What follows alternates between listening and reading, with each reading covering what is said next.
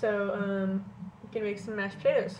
So this is all I need for now. Just a pot that's gonna have water in it. And I'm gonna make two potatoes, but that makes a lot. If I was just making for one person, I'd just make one.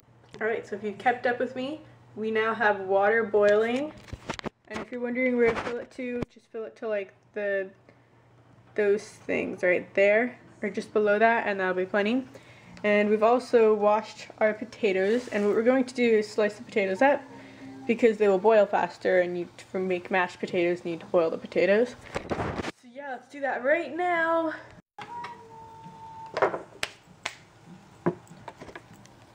Alright, clearly boiling. Let's put the potatoes in it.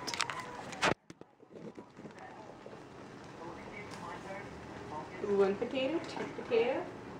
Oh, oh, it splatters. Watch out for that. Okay, so I'm gonna leave that in there.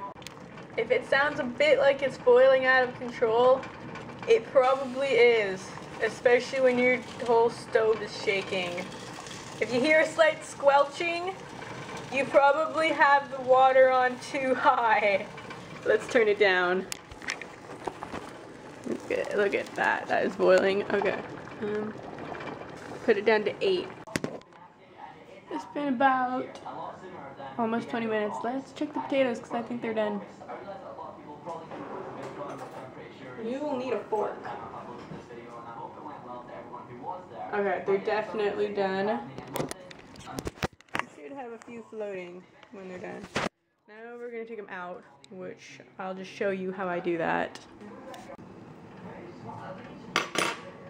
turn off the stove, that is fairly important. top. And when it's too hot to hold, just do this.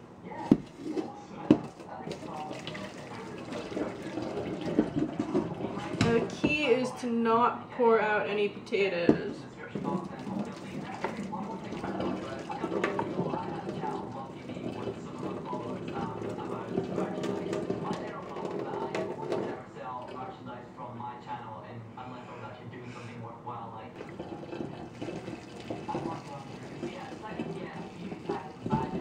Ah, drop one.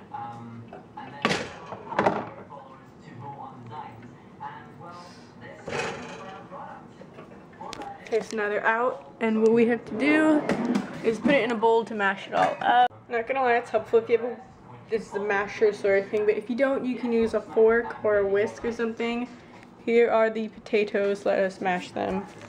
When you kind of hit a wall mashing, then you want to add your stuff in there non-vegan people use butter, vegan people use vegan butter, or I'm actually going to use coconut oil because it's good for you and I um, just want to use it right now. Any sort of oil will work. Um, yeah, let's go put that in. As far as how much to put in, I mean, that's just kind of like you gotta know. I mean, I'm part Irish, so I assume that's just how I know. That's a lot. But yeah, just play it by ear. You can also, which I'm also to do, put some milk in it. I'm putting almond milk in it soy milk would work, coconut milk would work, rice milk would work, whatever you want to do.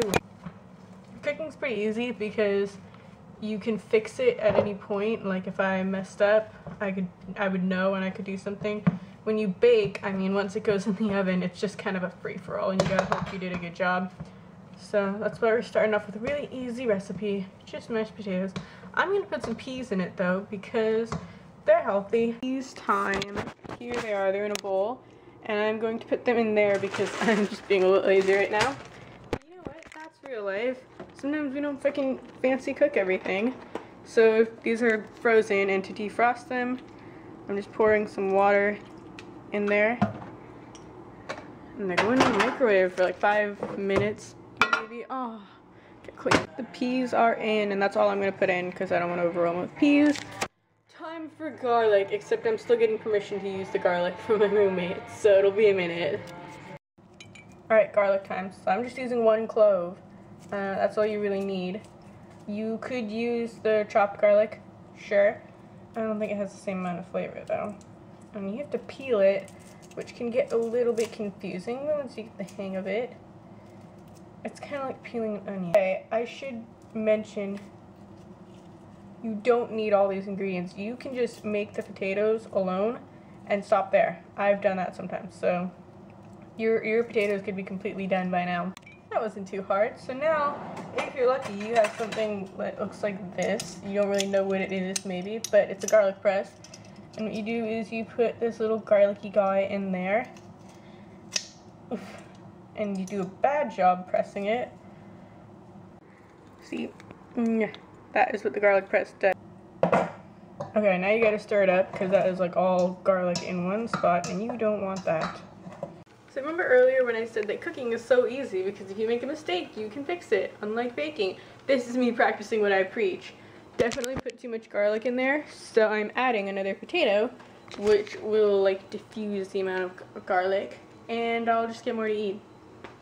But I'm done. That is my mashed potatoes. It's pretty big. Anyways, it's gonna remain in that bowl because I'm not serving it for like an hour. Oh, I'm not gonna put a link, I'll put the recipe below and I'll put everything that you need in it and hopefully you can try it